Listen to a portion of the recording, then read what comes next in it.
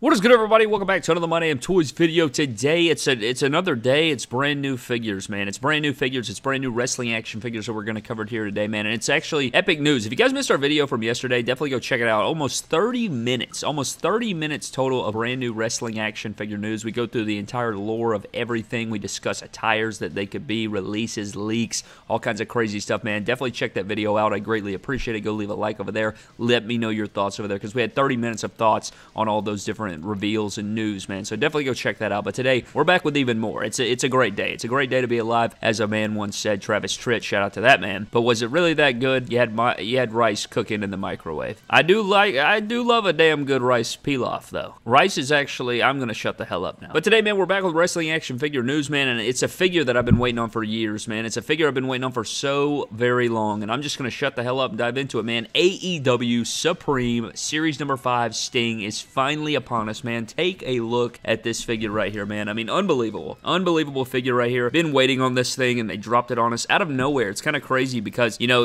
we talked about yesterday, they put up this little billboard deal, and it said a huge announcement coming or something like that, right? And then the first thing they show off was this other figure we're going to discuss, and people were not having it, man. They were not having it. They just, if, if it was there, they were not, they were not taking it. People were upset, it seemed like, but they did drop this figure, and I got to get this one out of the way first, man, because this is a figure, again, like I said, that we've been waiting on for years, man. We have Sting in the singlet, finally, from AEW and Jazwares. Not only that, it's a Supreme Edition, which means this is the, you know, this is the epitome. Every Supreme they've released, I'd say, has been fantastic. I don't think they've made a Supreme where I'm like, get it the hell out in the yard. You know what I mean? I think that every single Supreme they've released has been top of the notch. Maybe a head sculpt or two from the Cody figure. Outside of that, they have batted 1,000. It has been absolutely insane. Love the jacket that they've made, the the Lucha Bros that they did, man. The the Kenny Omega figures are ludicrous. The CM Punk speaks for itself. I mean, it's just unbelievable. But this Sting right here is a figure I've been waiting on, man. You guys, we're going to diagnose the figure here. Let's dive in here. Let's take a look at what you get, right? You do get the singlet Sting. Now, one thing that's very interesting is you're not getting what, you know, we've seen in the past with other figures, unless, this is the only thing that I'm saying, so we'll get into the lore. Of course, usually the Supreme figures typically they come with two or three gears, right? You either have a, a, couple, you know, you get interchangeable jacket arms, or you get you know some new tights. You'll get two different tights. You'll get some different things like that going on. With this figure, man, it shows everything here. You're not getting different legs. It doesn't look like you're getting different legs, and I don't think you're getting different arms, man. It looks like for this Supreme, they are just doing a straight up body. You have the butterfly joints in there. You have the beautiful singlet gear we've been waiting on, which I'll get into later. I'll, I'll touch on everything with the Sting figure, of course, but let's take a look at the accessories first, and then we'll kind of work our way backwards here, man, because I've been waiting on this figure for so damn long. You guys know Sting's retirement match is coming tomorrow, and he's one of my favorites ever. He uh, this is this is unreal. So having this figure here at this timing is insane. But let's zoom in here. You do get a jacket. Now this is going to be a cloth goods jacket. This is not interchangeable. This is not rubber. I do believe there was I can't remember exactly who said it, but I want to say they've said if a if a figure is shown in render form and the jacket is off to the side like drawn or the goods are off to the side drawn or something like that, that means that it's cloth goods, like similar to the Brian Danielson from Unmatched 9, I think, with the white tee and and different things like that. If the figure isn't wearing it, I think that means that it's not sculpted or what have you. So this is going to be a cloth goods jacket, man, and it looks incredible. If they can capture all that detail that we're featuring right here, it's going to be just ridiculous. So this jacket looks great. You got the gold in there. You got some patterns and stuff going on. We also have two different shirts. You get a cloth goods short sleeve shirt and you get a long sleeve Sting shirt. Now, I don't think this is what I was going to say. Like, you know, is this an interchangeable torso that has long sleeves? No, it's not. This is not that. This is cloth goods long sleeve, cloth goods short sleeve. It's got the Sting graphics on there. And so you get three interchangeable or three removable cloth goods accessories here. The jacket looks to be very premium. I can't wait to see exactly what that looks like. And then you also have his bat, which you have to have. You have these bat holding hands, you have his fists, and you have these kind of like wide open or relaxed style hands. And then getting into these head sculpts, you have a straight face, you have kind of a talking slash angry face, you have a yelling face, and then it comes with the mask, which I think is huge. Hopefully, it's a good shape and whatnot. You know, you kind of throw back to the Toy Biz, what was it, Toy Biz Scott Hall or something like that that came with the mask, or maybe just throw back to that stuff, man. That would be amazing to have a, a mask interchangeable accessory. A removable mask accessory for Sting is amazing. I love that they're throwing that in there. So this is a figure, man, that I've just been waiting on. Now, the only thing that I don't like about this figure in general, like obviously it's it's an older Sting head sculpt, right? Like you're gonna have to use your Mattel head sculpts. You're gonna have to get some custom stuff made if you're gonna want to make you like quote unquote like an Ultimate Edition Style Young or WCW Sting here instead of the older version of Sting. However, I still think that it looks fantastic. I can't wait to see what some Mattel head sculpts look like on here, you know, and I can't wait for it. I mean, I think that's so sick. I mean, I can't wait to see this thing up next to my Ultimate Edition custom Sting that we have. And another thing I don't like about this figure, or really just the only thing I don't like, is just this leg mold. You know, we've seen this leg mold on so many Sting figures, and it's never been my favorite. You know, I do like that it captures the paddedness and the leg pads and stuff, but those boots,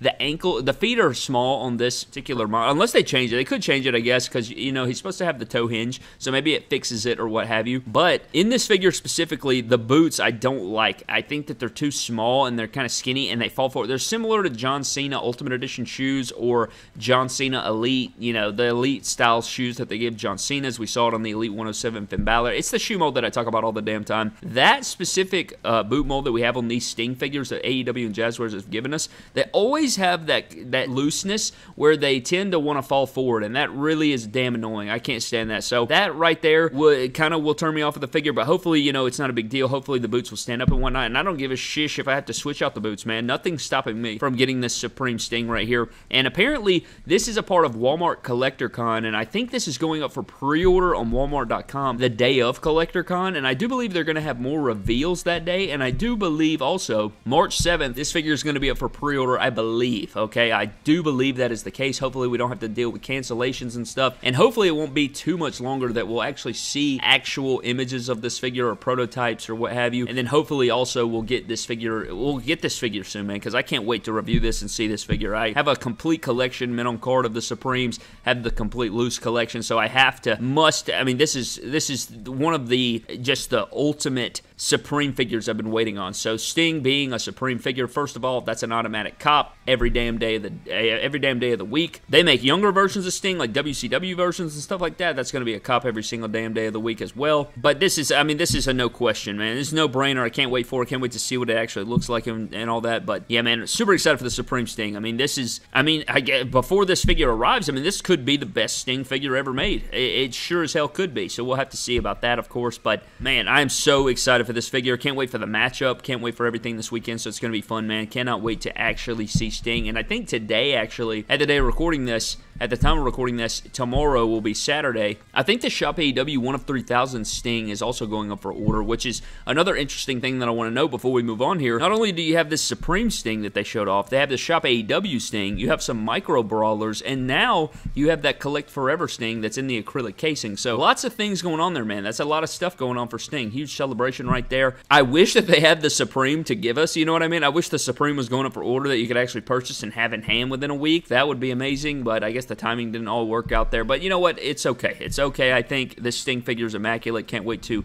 you know, get this figure in, pose it around. It's unbelievable. Can't wait for it. This is one of my most anticipated figures of the year by far. Ever since I learned that Sting was getting a Supreme, I've been just patiently and anxiously waiting on this release. So this is an absolute W right here for me for this Sting figure. But then we also had some other reveals, man. We have this other reveal here. This is going to, this is an interesting thing. So they are introducing a new Target exclusive. So we have our Walmart exclusive Supremes. We have these Target exclusives here. This is a Target exclusive AEW pay-per-view series. And the first figure in the pay-per-view series, I guess they're moving on from the all red foil and stuff. We have pay-per-view limited edition figures. And this one specifically is an AEW Revolution pay-per-view number one Brian Danielson. So this figure here, you guys can see he's in the black and red. He's got the American Dragon shirt in red. He's got this new head sculpt going on. Very cool figure, and I guess this is going to capture popular moments or big moments from pay-per-view shows is what I believe is what this is supposed to be. So I don't know. You guys can let me know what you think of that down in the comment section below. First of all, beautiful packaging. I think the packaging is sick as hell. Uh, AEW is always knocking out the packaging. The figure, gonna have to torso swap it. I don't particularly care for the Daniel Bryan or the Bryan Danielson torso they give him, so definitely gonna have to switch that out for an MJF. But this figure does look cool, and it looks really good mint on card, as you guys can see there. So we'll to see what comes of this, what figures they release. You know, how often are these going to be hitting shelves? I feel like that's really, I think, I feel like a lot of people think that this is behind, and we're so behind on these figures in general, and I think that's where a lot of issues come from fans. You guys can let me know your thoughts down below. But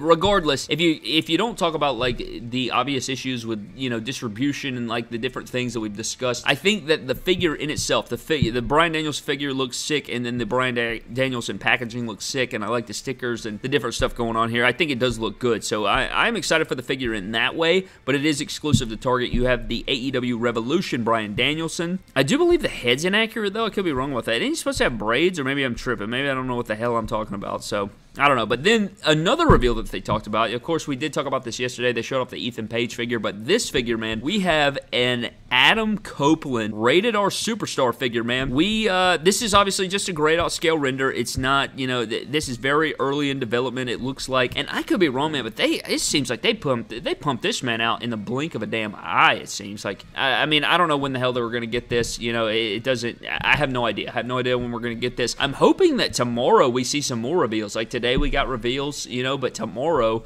is one one day closer to the pay per view, and then the day of the actual show, I'd like to see some reveals. So we'll have to see about that too. But this figure looks good. I like the entrance jacket. The head sculpt looks pretty damn good. I, I might say. I really like the kick pads they gave him here, man. I like the leg mold. One thing that I really like about this is how accurate that looks. They're not fat kick pads. You know what I mean? I think they did a really good job of capturing the the just leanness of the kick pads and stuff like that. Hopefully, this figure will be uh, you know check off all the check off all the boxes. It does look like this. I mean, I don't know for certain, but this does look to be like the Kenny Omega crotch and thighs. I could be wrong about that, but that's what it looks like to me. It kind of looks like that GameStop exclusive crotch piece from the Kenny Omega. But again, I'm just I'm just kind of spitballing. I know they do a lot of one-on-one sculpts, so that may not be particularly true, but it does look like they gave him the ripped up, you know, the ripped up torso He's got the rated R jacket. It looks sick, man. I, I, like the head sculpt and everything. It's just gonna be all about attire and paint apps and all this stuff. And how uh, like how soon are we gonna get this figure? Is he gonna be the chase? There's lots of different things going on with this this Edge figure, this Adam Copeland figure that we'll have to see. But I'm excited for it, man. I'm just excited to have you know some new updates, man, because I feel like uh, you know for as much flack as this line gets, I feel like the last few figures we've gotten from them recently have been pretty damn good. Like I thought AEW Unmatched Series 8 was damn good. You know, I think you know some of their scaling issues are still a problem in my opinion but I still think that the figures were good overall. I like the Malakai, I love the Brody King, thought that was great, like the Ring of Honor Punk. So yeah, man, I just hope that you know this is a step in the right direction. You have the Supreme Sting, you have these new figures coming. Hopefully, we can continue on a roll and we can get these things back going the right direction, and everybody will be excited about the Wave Man and the line. So love to get into all that, man. But I would love to know down in the comment section below what you think of all these things. Of course, yeah, the Sting Supreme, which is obviously just top of the line. That's, I mean, you could just, it, we could have cut the video right there. I, I don't care, man. That Sting Supreme figure has a lot of stuff going on, and I may have, I can truly say that, yeah, it's the bee's knees. It is the bee's knees. But that is certainly a figure that I've been waiting for for years, and that is certainly a figure I'm just highly anticipating. If I had to do like Mattel, if I, AEW Jazwares is easily the Sting Supreme on the figure I'm most looking forward to this year. And then if we were doing Mattel, it's very difficult. Um, I know that, you know, we have so many Ultimates, and we have so many Elites coming down the, down the pipeline. I guess it would probably be the, I'm very excited. I'm very intrigued to know who the next four defining moments figures are. That's one of the things I'm really intrigued with. I think we're going to get that revealed to us at WrestleMania who the next four figures are. And I do believe that they may release like a week or two later after that because you guys remember last year they did that with the the ringside exclusive defining moments figures. Remember they showed them off. It was the return of the defining moments line, and then it was like a week or two later we had the figures in hand. So hopefully that will be the case. They'll showcase them there. They'll have them all displayed, and I can't wait to see those. That's one thing. I mean, I'm not necessarily anxiously awaiting the figures because I have no idea who it is, but I am anxiously waiting on who the reveals are going to be. Like, what talents are they? What four moments are they? That's definitely something I'm looking forward to. And then I guess I would say probably Ultimate Edition Series 22 Cena. That's the figure that I'm patiently waiting on what it looks like and what the gear is. As far as figures we know that are announced and whatnot, I have no idea. Like, I don't know. It would just have to depend. Hopefully, we have some stuff in the pipeline that we have no idea about. But I don't know, kind of a little rant there at the end or just kind of rambling on. But again, man, I like to talk about this stuff, man. These are things that, like, I don't have a lot of people near me uh, locally or people that I get to talk figures with or wrestling wrestling figures with, you know, at a deep level. So you got like the community we have here in the wrestling action figure community we have, not only on the channel but just wherever the hell you are, like you know, Instagram or Twitter or wherever these places are that we connect and talk about figures. This is where I talk about all the deep thoughts that I have about these figures, man. So I greatly appreciate you guys listening to that and everything like that, man. So I always appreciate you guys listening and giving your feedback down in the comment section below, man. But with all those things being said, I think that is all of the news that we have for today, man. I'd love to know what your thoughts are on the Supreme Sting. Are you guys going to be grabbing that? What are your thoughts there? What do you think of the Edge figure?